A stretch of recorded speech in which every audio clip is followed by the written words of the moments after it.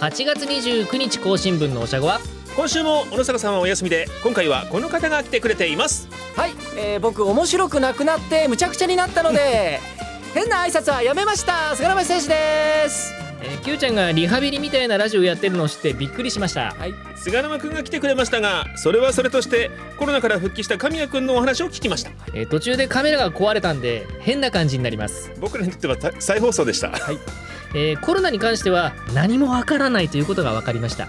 肩の会話はオルバということが分かりましたそれから2016年放送のドラマを見た神谷くんが4年半の時を超えて感想を言ってくれます。いやあのドラマはいいだろ流行るよ絶対、うん。あれ？